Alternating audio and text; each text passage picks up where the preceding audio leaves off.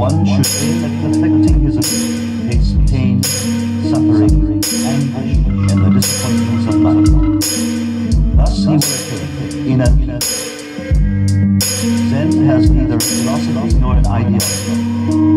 In rigorous asceticism, one can hope to achieve enlightenment.